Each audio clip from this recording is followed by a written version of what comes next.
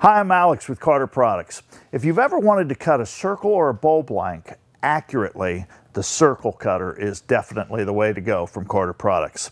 Now, this will fit just about any bandsaw, and if it doesn't, if your table goes all the way up against the edge, they do have an adapter for you. Now, the circle cutter is very easy to use. It has resting points that are movable so that you can hold your work level. It has a sliding magnetic pivot point so you can bring it back to drop your piece onto the circle cutter. And of course, it also has the tape measure so that right here in the hourglass, whatever it reads, double it, and that'll tell you what size circle you're gonna cut. It will cut anything from 1 to 48 inches and is probably adaptable to go a little bit larger. But the way that it's adjusted is we loosen these two screws and slide it out. The way that it's adapted to your saw is with these pieces that slide in and out. All right, now on this saw, I've drilled a hole so that it's easier to adapt, but they do sell an adapter for this saw where the table goes right against the frame, but for most saws, it's ready to attach right to the table. All right, now I'm gonna install this and show you how it works. Now, in this case, I just simply drop this right into the hole there. I'm gonna line this up and the main key here is making sure that the pivot point is in line with the tip of the tooth. Remember, tip to tip is going to give you a perfect circle. If it's too far back, it will want to cut out. If it's too far forward, it will want to circle in.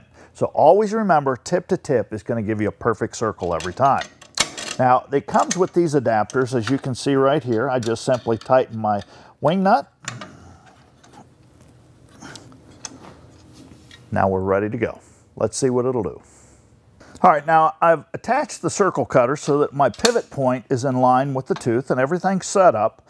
Now I want to adjust my tape because we've got a six inch blank here roughly. So we're going to bring our tape over so that the zero is right behind the blade. That way, whatever shows up here tells me Whatever it shows, this one's showing three inches, that means I'm gonna be able to cut a six inch blank. So we'll just adjust that in a little bit better. Snug that up. Bring our pivot point back so that we can drop our blank right on there, just above our work. Plug our saw back in. See what we get.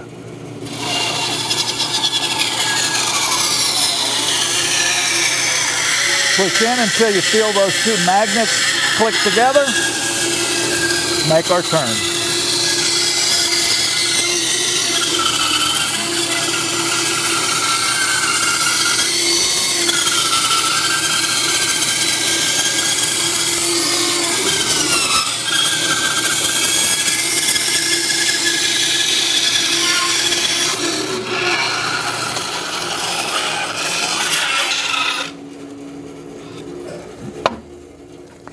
Just like that, a perfect blank with a center point.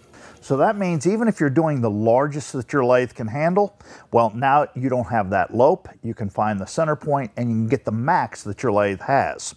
Now, the other nice thing about this is the leftover pieces now become pen blanks instead of basically ending up on the floor with sawdust. Hey everyone, thanks for watching. Be sure to subscribe for news, tips, and product update. Follow the link in the description to explore all the great tools that Carter Products has to offer.